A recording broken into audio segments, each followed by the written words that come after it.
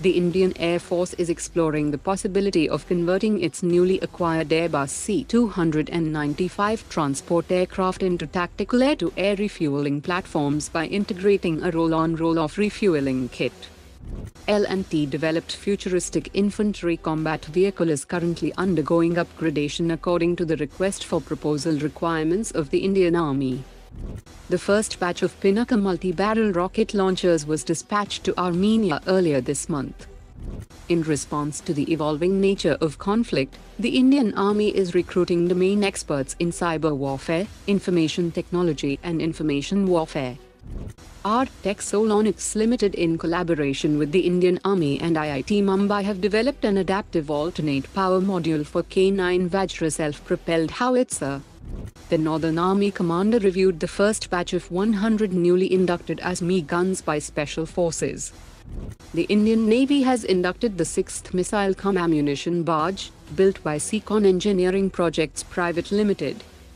After Pakistan claimed that its 350 km range Smash missile is specifically aimed at Indian aircraft carrier groups, Experts said that the Indian Navy already has several countermeasures on its warships that are effective against such supersonic and highly maneuverable missiles.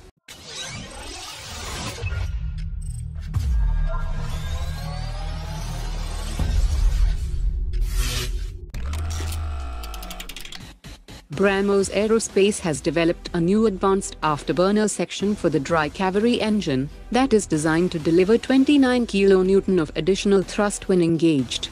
BrahMos Aerospace has developed the afterburner section entirely from the ground up, incorporating advanced materials and engineering techniques to withstand high thermal and mechanical stresses. The afterburner will be integrated into the dry Kaveri engine for rigorous testing to validate performance and reliability under operational conditions. The additional 29 kN thrust capacity ensures that the enhanced dry Kaveri engine achieves its target of 80 kN, making it competitive with its international counterparts. The gas turbine research establishment has successfully completed studies on a 3D thrust vectoring nozzle system that is designed for potential integration into both manned and unmanned fighter jets. The 3D thrust vectoring nozzle system allows for thrust manipulation in all three axes, which means that it will give the advanced stealth aircraft like AMCA the ability to change thrust direction in three dimensions, providing enhanced maneuverability and agility even at low speeds and near stall conditions.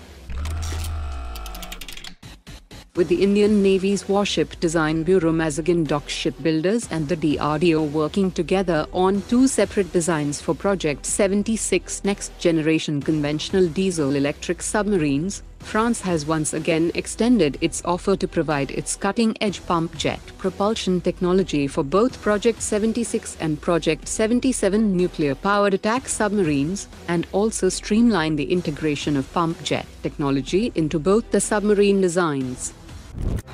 Today's top 3 comments